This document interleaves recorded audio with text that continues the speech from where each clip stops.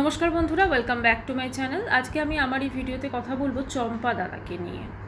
তো এইমাত্র লাইভ দেখছিলাম, তো একটি লাইভে দেখলাম যে চম এই যে আমাদের সমাজসেবী ম্যাডাম যিনি এসেছেন, সঙ্গীতা ম্যাডাম সত্যি কথা বলতে কি, আজকে ওনাকে না আমি একরকম ভাবতাম, আজকে যে লাইভটা দেখলাম সম্পূর্ণ অন্যরকম লাগল। আমি সেজন্য ওনার নামটা নিয়ে আমি কথাটা বলছি যে উনি চেষ্টা করেছেন সম সবাইকে মানে অ্যান্টি ক্রিয়েটার এবং সবাইকে একসাথে যাতে সুন্দরভাবে ভিডিও করতে পারে, উনি কিন্তু একটা মিলন মেলার চেষ্টা করেছেন। এটা দেখে মনে পড়ে গেল অনেক, এক দু বছর আগে বোধ একটা, পয়লা বৈশাখের দিন মিলন মেলা হয়েছিল। তো তারপর থেকে তো যাচ্ছে তাইভাবে গালিগালাজ শুরু হয় ভিডিওতে তো। যাই হোক মোটামুটি উনি সবার সঙ্গে সুন্দরভাবে, খুব সুন্দরভাবে ম্যানেজ করেছেন। এবারে কথা হচ্ছে উনি চম্পা দাদা, এখন যে চম্পা দাদা যাই না ওনাকে এই নামে আমারও ডাকা উচিত হবে কি না। তবে ওনাকে শাস্তি দিতে চান, কেননা উনি মহিলাদের আক্রমণ করেন, অনেক কিছু করেছেন তো এই বিষয়। তো এই বিষয় সংক্রান্ত আমার আজকে ভিডিও। শুরুতেই বলি, আমি যে কাউকে সাপোর্ট করে ভিডিও করি না, আমি সম্পূর্ণ নিরপেক্ষ থেকে ভিডিও করি, এটা আপনারা সবাই জানেন। মানে যারা যারা আমার ভিডিও দেখেন আর কি। তো কথা হচ্ছে যে আজকে এই যে চম্পা দাদা, এই চম্পা দাদাকে তৈরি করার পিছনে কিন্তু প্রচুর বোনের হাত আছে, বোন বা দিদি। এখন তারা সবাই বেশ যে যার কাজ মানে উদ্ধার হওয়ার পর চম্পা দাদা সাইড থেকে সরে গেছে। কিছুজন অবশ্য আছে আর কিছুজন সরে গেছে। তবে আমার উদ্দেশ্য এর মানে এই নয় যে আমি চম্পা দাদাকে সাপোর্ট করছি। না না, একদমই না। কারণ উনি যেভাবে কুরুচিপূর্ণভাবে মানুষকে আক্রমণ করেন এবং যেরম ধরনের উনি ল্যাঙ্গুয়েজ ইউজ করেন ওনার বাণী ফানি তো অনেক শুনেছি। দেখেছি সেগুলো, যথেষ্ট নোংরা। কিন্তু ওনাকে উস্কানো হয়, ওনাকে পিছন থেকে যে, দাদা, তুমি আমার পাশে দাঁড়াও। বা এই করো, এরকম লোকেরও কিন্তু অভাব নেই মানে এরকম ক্রিয়েটারও কিন্তু অভাব নেই। তো ব্যাপারটা হচ্ছে, এই যে আজকে যখন ওনাকে শাস্তি দেওয়া হবে ইনফ্যাক্ট যে চ্যানেলে লাইভটি হচ্ছিল, তিনিও কিন্তু একসময় ওনাকে ভীষণভাবে প্রাধান্য দিয়েছেন। কোনো কিছু প্রবলেমস হলেই ওনাকে জানিয়েছেন, ওনাকে বলা হতো ওয়াইটির দাদা। আমি ওয়াইটির দাদা ভাই বলি। কারণ সত্যি কথা বলতে কাউকে এরকম নামে ডাকাটা উচিত না। তো যাই হোক, সেই ওয়াইটির দাদা ভাইকে এক সময় প্রচুর প্রচুর নোংরা কথাবার্তা বলা হয়েছে। একদিকে একটা দল বলেছে আর এক দল ওনাকে ক্রমশ সাপোর্ট করে গেছেন এবং ওনাকে বিভিন্ন রকমভাবে মানে এই আমাকে নিয়ে ভিডিও করো বা আমার, আমাকে অমুক বলছে, তুমি ওকে একটু দেখে নাও। এবার উনিও ভিডিও খুলে বসে যেতেন, উনি মানে ওনার অকথ্য ভাষায় সেই ক্রিয়েটারকে আক্রমণ করা হতো এবং নোংরা নোংরা কথা বলা হতো। এটা কিন্তু আমরা সবাই দেখেছি, আমরা সবাই দেখেছি। আমার সব থেকে অবাক লাগল এই যে দালাল দিদি, আজকে কিন্তু দালাল দিদিকে যখন ওই লাইভে উনি এসেছিলেন হ্যাঁ এখন দালাল দিদির অ্যান্টি হয়ে গেছে ওয়াইটির দাদা ভাই কিন্তু মাঝখানে তো দেখলাম বেশ মিলই হয়েছিল। একটা লাইভে দেখলাম। তিনি কিন্তু একবারও বললেন না যে ওনার নামও করলেন না। যেহেতু লাইফটা ওই পারপাসেই ছিল যে ওনা মানে ওকে শাস্তি যাতে না দেওয়া হয় বা কিছু এটা খুব অবাক লাগল। আসলে আমাদের এই ওয়াইটিতে না যতই আমরা বলি যে এই অমুক আমার দাদা, অমুক আমার বোন, অমুক আমার সেই, অমুক আমার, হয় না। ওয়াইটিতে সবাই প্রফেশনাল রিলেশন রাখে এবং সেটাই অবশ্যই রাখা উচিত।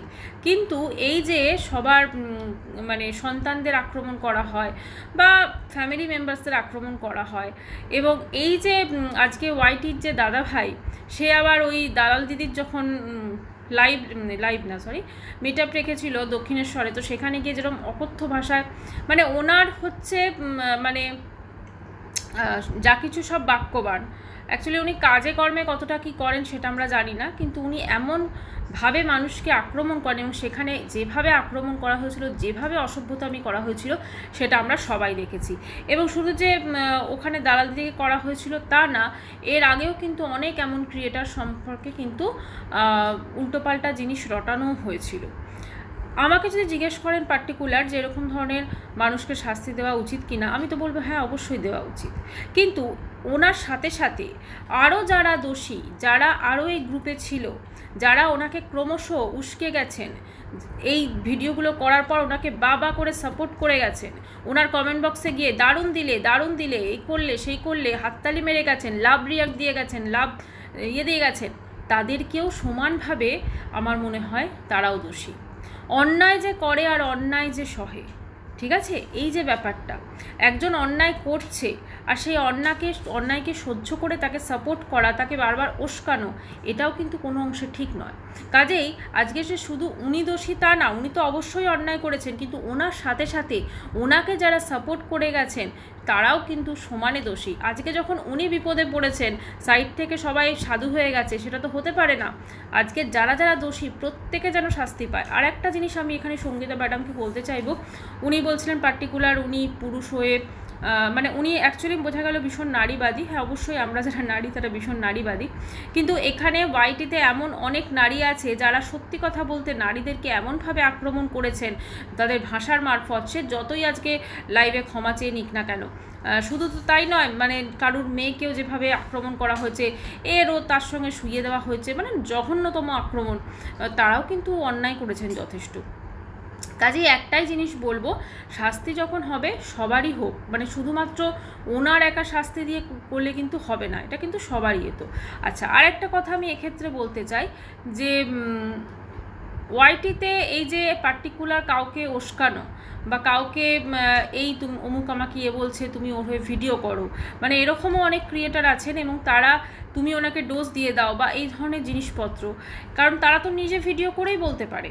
তারা তো নিজে ভিডিও করেই সেটা বলতে পারে, তা নয়। অন্যকে মানে এগিয়ে দিয়ে আগে তুমি তুমি ঝামেলাটা পোয়াও, এরকম একটা ব্যাপার।